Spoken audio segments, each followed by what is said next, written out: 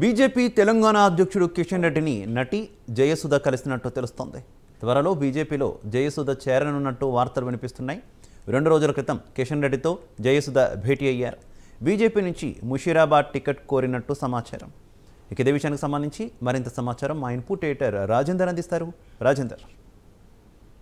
So ప్రధానంగా Telangana BJP party చేరికలపై దృష్టి సారించడం అని చెప్పవచ్చు. ఇతర పార్టీలో ఉన్నటువంటి ముఖ్య నేతలకు వాళ్ళతో మాట్లాడుతూ బీజేపీలో చేరే విధంగా వారు వాటితో వారితో టచ్ ఉన్నట్టు కూడా మనకు తెలుస్తుంది. అయితే తాజాగా ఆ, మా నటి అదేవిధంగా కాంగ్రెస్ పార్టీ నుంచి రెండు వేల తొమ్మిదిలో సికింద్రాబాద్ ఎమ్మెల్యేగా పోటీ చేసి విజయం సాధించిన జయసుధ కూడా బీజేపీలో ఆ, చేరేందుకు మంత్రాలు సాధించడం మనకు తెలుస్తుంది. పార్టీ రాష్ట్ర అధ్యక్షుడు కిషన్ రెడ్డిని రెండు రోజుల క్రితం ఆమె కలిసినట్టుగా మనకు తెలుస్తుంది.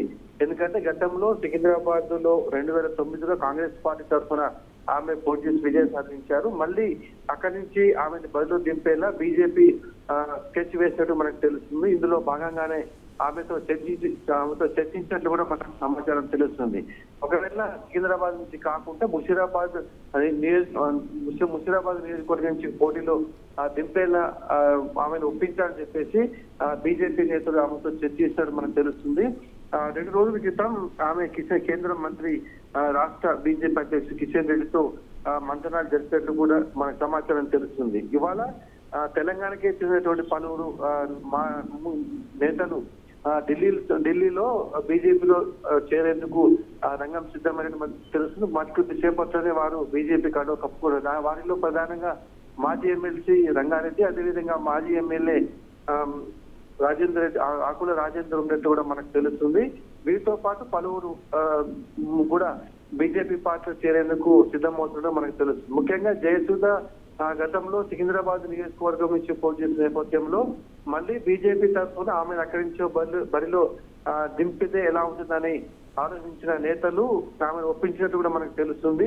ఆ, త్వరలోనే పార్టీ ఆ, ముఖ్య నేత అదేవిధంగా కేంద్ర హోంశాఖ మంత్రి అమిత్ షా సమక్షంలో ఆమె బీజేపీ కండువా కప్పుకునేందుకు కూడా రంగం సిద్ధమైనట్టుగా మనకు తెలుస్తుంది శివ. అయితే రాజేందర్ జయసుధ బీజేపీలో జాయిన్ అవ్వడం వల్ల అంటే ఆ, ఇంపాక్ట్ ఏ రకంగా ఉంటుంది అనుకోవచ్చు? ఇది జయసుధకి గెయిన్ అనుకోవాలా? లేదంటే బీజేపీకి గెయిన్ అనుకోవాలా? జయసుధ గతంలో ఉమ్మడి రాష్ట్రంలో ఎమ్మెల్యేగా గెలిచారు. ఆ తర్వాత పలు పార్టీలు మారినప్పటికీ కూడా ఎక్కడా ప్రభావం చూపించలేని పరిస్థితి. కానీ ఒక నటిగా మాత్రం జనంలో ఆమెకు మంచి గుర్తింపు ఉన్నటువంటి నేపథ్యంలో ఏ- రకంగా ఆమెని ఉపయోగించుకునే ఉద్దేశం బీజేపీ చూస్తుంది? ఇరుపక్షాలకు ఇరు కూడా ఇది ఏ రకంగా లాభదాయకం అనుకోవాలి? ముఖ్యంగా ఇక్కడ హైదరాబాద్లో బీజేపీ అంటే ఈ ముఖ్య నేతలు చే- ముఖ్య నేతలను చేసుకుంటేనే బలం పుంజుకుంటుందని చెప్పేసి ఆలోచనలో ఉన్న బీజేపీ మనం జయసుధను ఒకవేళ పార్టీలో తీసుకున్నట్లయితే సికింద్రాబాద్లో ఆ, వారికి సంబంధించిన ఆ కమ్యూనిటీకి సంబంధించిన ఓట్లు ఎక్కువగా ఉంటాయి. అందులో రెండు వేల తొమ్మిదిలో అదే ప్రాంతం నుంచి ఎమ్మెల్యేగా పోటీ చేసిన నేపథ్యంలో మళ్ళీ పరిచయాలు అంటే పాత పరిచయాలు ఉంటాయి.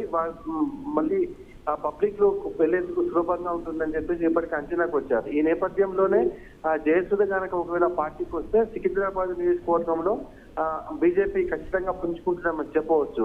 అంటే ఇప్పటికే గ్రేటర్ హైదరాబాద్ పరిధిలో జిహెచ్ఎంసీ ఎన్నికల్లో మెజార్టీ కార్పొరేట్ ఎన్ని- సీట్లను ఆ, కైవసం చేస్తున్న నేపథ్యంలో సికింద్రాబాద్ నియోజకవర్గంలో జయసుధను పెట్టినట్లయితే అక్కడ సినీ గ్రామాలతో పాటు పాత పక్షాలు అదేవిధంగా రెండు వేల తొమ్మిదిలో అక్కడి నుంచి విజయం సాధించిన నేపథ్యంలో ఆ పత్యాలు కూడా బాగా పనికొస్తాయి. పార్టీ విజయానికి ఇది సులభంగా ఉంటుందని చెప్పేసి వాళ్ళు అంచనా వేసిన నేపథ్యంలోనే ఆమెను పార్టీలో చేర్చుకుంటున్నట్టు కూడా మనకు తెలుస్తుంది Shiva.